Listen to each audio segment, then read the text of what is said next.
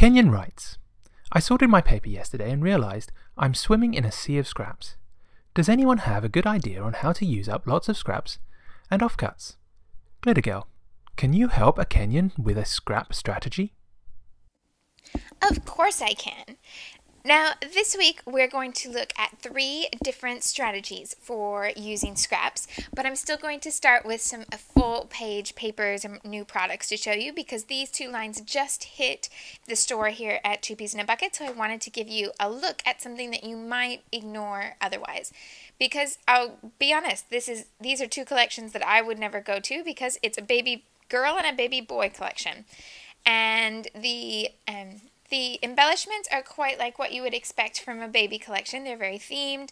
They say all sorts of cute little things that are great for baby pages, but pretty difficult to um, to work on other sorts of themes because they're pretty specific.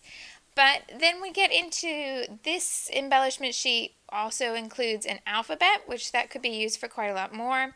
And it's um, the amount of stuff that's really specific is just kind of limited to these a few of the bits at the top because there are also border stickers, photo corners, and some of the um, words and things up here. Some are quite specific, some um, are a bit more uh, versatile and could be used here and there.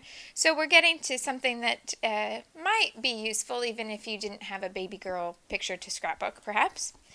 And um, the cutout sheet is relatively specific, and there's a, a uh, a border. And see, then we get all these pattern papers that are very much this themed baby collection with all sorts of pinks and lots of cutesy animals, animal prints, and hearts and polka dots. So these are, are very, very baby themed, but I would look at this side in the store if I were shopping in person, and if I only saw this side, I would walk right past it. I would never take a second look because I don't have baby photos to scrapbook. However, if I turn it over, now I have a collection that I'm in love with as somebody who doesn't use many themed products and looks instead for smaller patterns that can mix and match. So there's a floral, a gingham, a cloud print, a cupcake, a stripe, a chevron, a tiny, tiny little white polka dot, and a tone on tone heart design. Now, those are papers that I know I can use right to the very end because they're all different things that I can cut up and use in all sorts of, of in all, for all sorts of topics. The same thing for the baby boy collection. So there are some specifics, some mix of specific and more general. And then these have one side each that's great if you have baby boy photos. And quite a few that, you know, they would still go into toddlers and things like that. But if I turn this over, I now have lots of patterns that I would ignore otherwise. That's all from Bella Boulevard, and the names are, it's just called the Baby Boy and the Baby Girl collection, so it'll be nice and easy for you to find. So this just hit the store this week, and I do actually have a few baby girl photos to scrapbook this week, even though it's not my baby, so don't start any Glitter Girl rumors just yet. But I um, am going to give some of these a try. And even though I'm going to use them for something that is on that theme, I definitely think there are plenty of ways to use them um, in anything. So I'm going to use larger pieces of these two papers. That's the polka dot called Pretty in Pink and the chevron which is called Daddy's Girl. Um, but then I need to get on with the challenge that we were set this week, and that's how can I get more from my scraps? Well, I start almost every layout, if not every single page, with items from my scrap basket. So I'm going to grab a whole bunch of different scraps that are in my basket right now, and then choose the ones that will be most useful for this first project. So here is a big handful of paper just dumped straight from my basket onto the table, and I know that this is the color scheme I want to start with, this pale pink and something that's kind of uh, a middle of the range brown, so sort of around a kraft color. And so from there, I would just start looking for things in the stack and pulling out things that are pink or kraft and things that, that might match or things that just catch my eye so that I can narrow this down to just some smaller scraps. And at this point, I'm really not too fussy about whether all the pinks are the same pink, anything like that. Just trying to create a bit of a color collection because I don't sort my scraps in any way.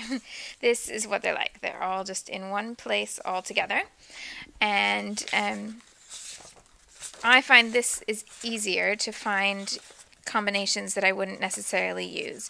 And it, this way I spend a lot less time and space dedicated to my scraps. But it, lots of people have different systems for what works for you. So whatever does work for you, um, just grab hold of that and embrace it. Don't, if it's working, don't change it. First strategy to use up scraps is to use strips.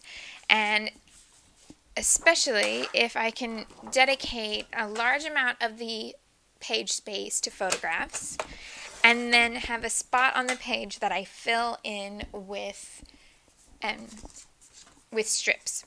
So I have these three photos. Let's see what order I want them in.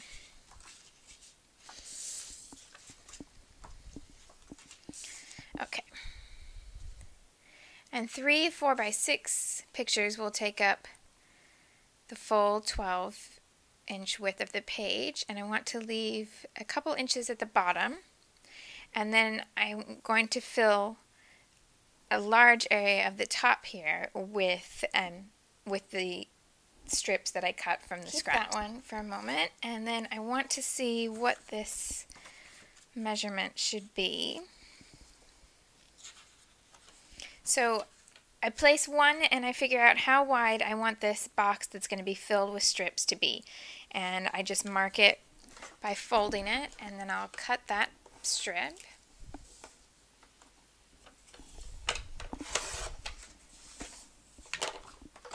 And in this instance, that has turned out to be three and a half inches. And then I'm going to cut them one inch wide because all of my strips are quite, um, I've got quite large strips to work with, so I'm not going to have any trouble. But if I really wanted to push down to the tiniest bits of paper in my stack, then I could just make them smaller, of course. And I'm going to cut enough of those to fill the whole um, the whole width, so I need 12 1 inch by 3.5 inch strips. From here, I can go with all sorts of different little touches to make this same technique look different on a variety of layouts. One little trick is that I always cut one strip slightly larger than the rest so that I can place that one off the edge of the page. And that way, if your measurement isn't quite exact, you won't end up with any gaps in between and you can just cut off the extra of the, um, the last strip.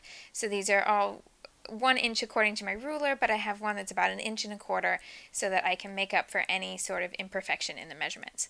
Now I'm going to just go ahead and glue them straight to the background sheet and there are all different ways that you could do that. I'm going to do it nice and even and square and make a um, solid border that goes across the page. But you can do other things to dress this up. You can make them all a little bit wonky and overlapped and uneven. You can make them different lengths. You can add stitching and make it very quilted. And you can take this same idea of taking a bunch of different strips that are about an inch wide and making it into a, a focus element of embellishment on your page. And from this point, I can go ahead and finish the layout with the other pattern paper that I wanted to make sure I used, and then whatever embellishments, title, and writing that I want to add on top.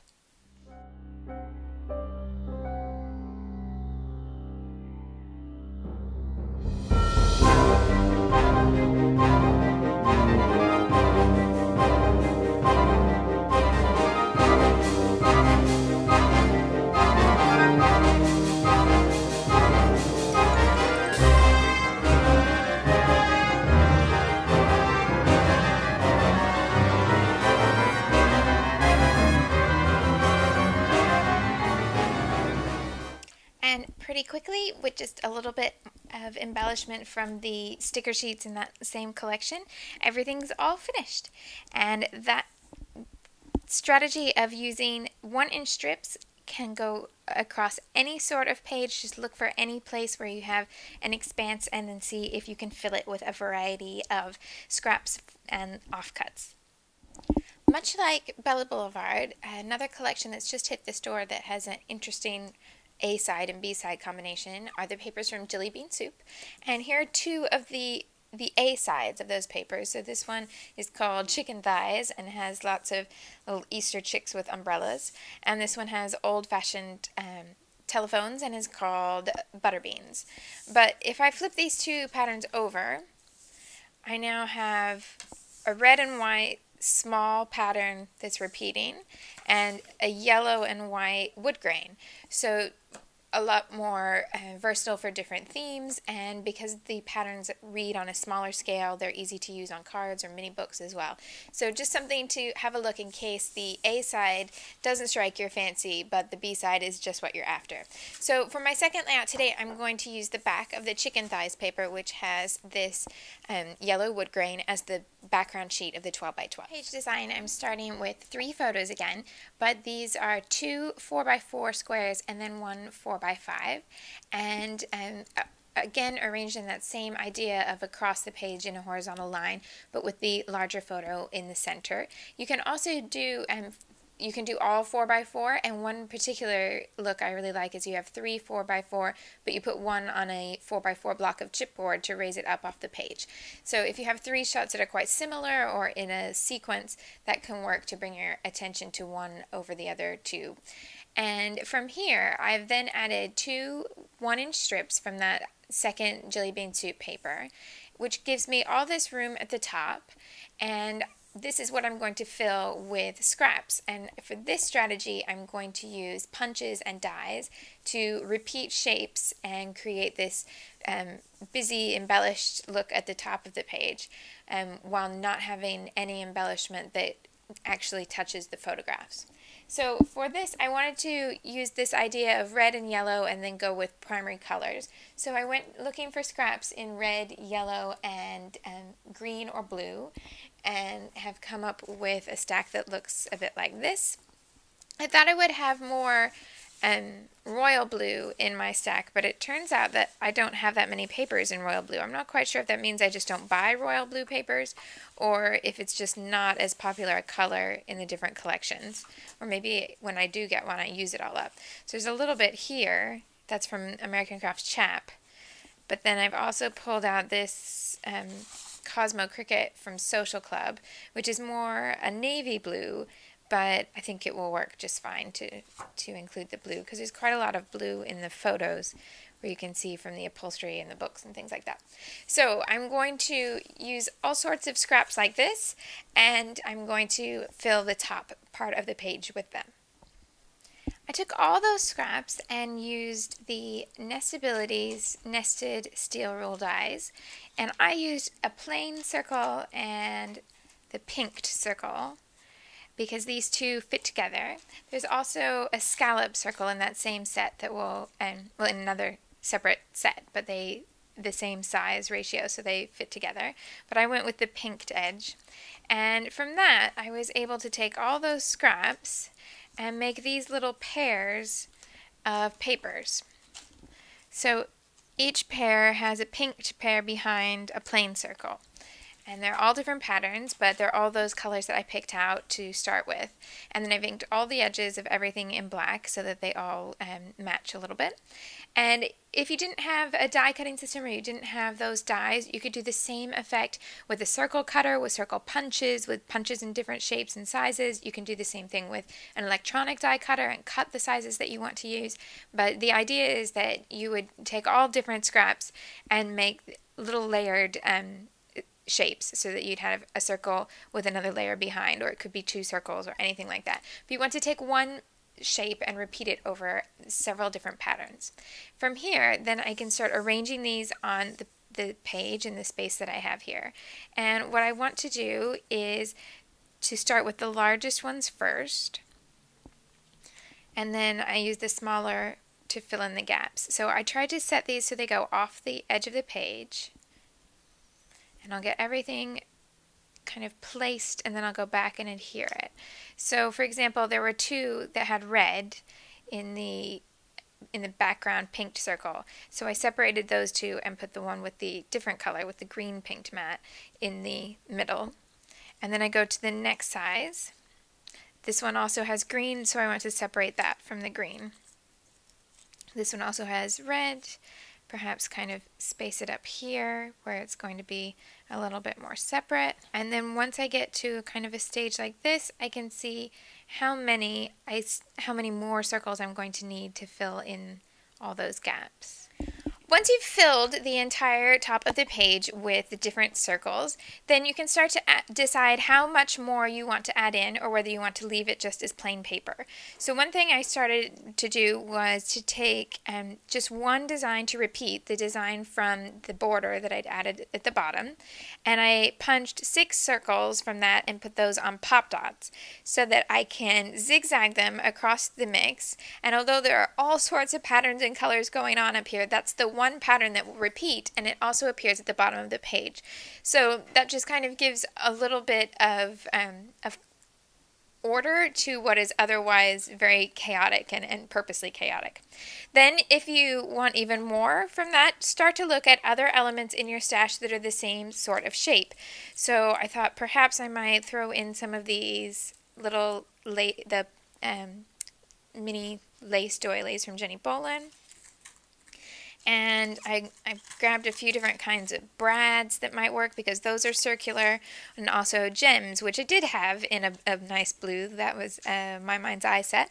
And so I can fill in any gaps that I want and it's just up to you and your style how much you want to add versus how plain you want it to be. And if you want fewer pieces less chaos go with larger circles because five big circles is a lot less chaotic than 20 very small circles. So just keep it um, to whatever kind of level works with your style and your photos. Here's that version all finished. So I filled in this top section with all sorts of little circular embellishments, but the bottom of the page just has a relatively simple title and room for journaling and nothing from this part is overlapping on the bottom half of the page. So that barrier border can separate as much or as little embellishment as you want to add up here with the scraps and still keep your photos on show in the bottom half of the layout. So um, one more strategy to go and we'll see how many more scraps we can bust this week. For this last page, I'm just going to work with a single oddball 4x6 that I didn't have any other photos that went with it, but I still wanted that in my album. And when I went looking for scraps this time, instead of pulling by a certain color, I looked for the size of the piece, and I wanted all sorts of different things that were just strips. So I've pulled nothing that's a full sheet, nothing that's blocks or tiny little pieces, but all um, just long strips of various sizes and things like that. And it turned out that from that I could get quite a few that would work in a similar color scheme. So I just weeded out anything that really wasn't going to work.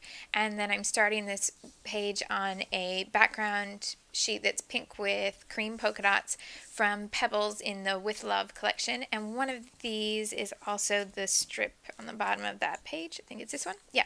So this is the branding strip at the bottom. So I've cut that off to include in the layout. So I'm just going to be using strips and then I'm actually going to use one other element which is this um, floral paper from October Afternoon and I'm going to cut one or two of the flowers from this and you can see that's essentially what I've been doing with this whole sheet is treating it like die cuts that need to be cut out um, instead of using it as a full sheet. So I'm going to put that to the side but I'm going to look at different ways that I could use these strips to create a whole layout instead of needing a big box of pattern paper like how I normally start a page.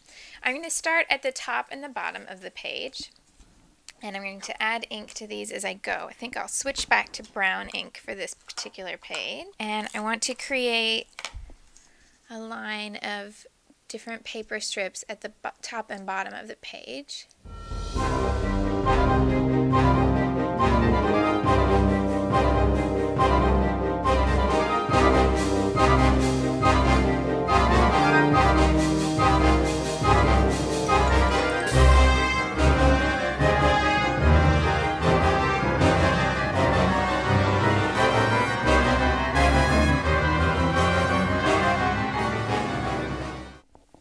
Border in place at the top and the bottom, then I can look to where I want to place the photo and use the remaining strips to create essentially a photo mat or a frame that goes around the photo but without having a large block of paper. So I'll cut and ink these to about the right size to work and then I'll piece them all together to figure out where each piece should go. Getting a piece in the middle out of strips, I essentially want to get to a point like this where I can see that I won't have any gaps and I'll be able to just put the photo on top and it won't be obvious that there's a hole in the pattern paper behind the, um, the photograph. So once I get to a stage like this, then I'll start to adhere it. And to make sure it doesn't move, I'll hold everything down with one hand and then just pick up and start to tack the adhesive down.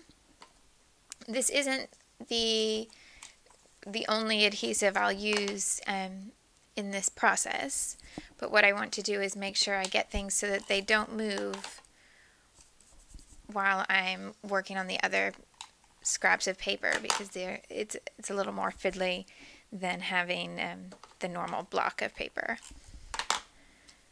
So get everything tacked into place.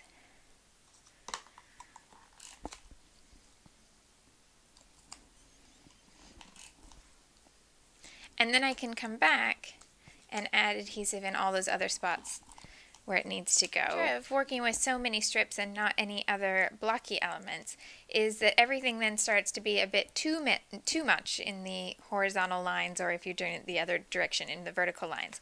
So I've cut one of the um, flowers from the side of the pattern paper and that will give it a, a little bit more movement in a, in a different direction. And I just want to tuck this right at the edge of the photo. And this side of the flower where it's going to be flat to the photo is just normal adhesive, but then I've added a few foam squares to this end so that it will um, have a little bit of dimension there on the page. And then I can take some of those smaller scraps that I had left over and start to tuck things into this little arrangement here. And here's the finished version with the title added, with all the various little bits of writing that I wanted to include to make sense of both the foreground and the background of this photo. And then the only embellishment I added past that were, was this a few of these little um, embellishments from the Dear Lizzy Buttons and Accents set. And, um, and these two little word stickers which were at the bottom of a sheet of letters by Cosmo Cricket. And so that's a third strategy using all strips. So your challenge this week is to take any of those three strategies and put it to use on your own page, get some more use out of your scraps and offcuts, and I'd love to see your work in the gallery. For even more ideas on how to get great pages from your scraps, you might want to check out The Hitchhiker's Guide to Scrapbooking, a workshop here at Two Peas in a Bucket. Join us next week for the continuing adventures of Glitter Girl and the ongoing mystery of the scrapbooker behind the mask at twopeasinabucket.com.